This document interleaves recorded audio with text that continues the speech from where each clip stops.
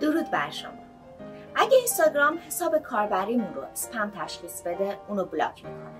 در این صورت دیگه نمی‌تونیم برای پست های دیگران کامنت بذاریم یا پستی رو like کنیم.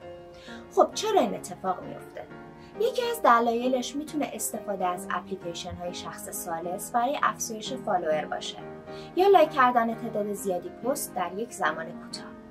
اما block شدن از طرف اینستاگرام چه دلایل دیگه ای داره و چطور می‌تونیم برطرفش کنیم یا اساسا ازش جلوگیری کنیم؟ روی لینک زیر این ویدیو کلیک کنید و سری بزنید به مقاله چرا اینستاگرام ما را بلاک می‌کند. چاره چیست؟ سپس از همراهیتون.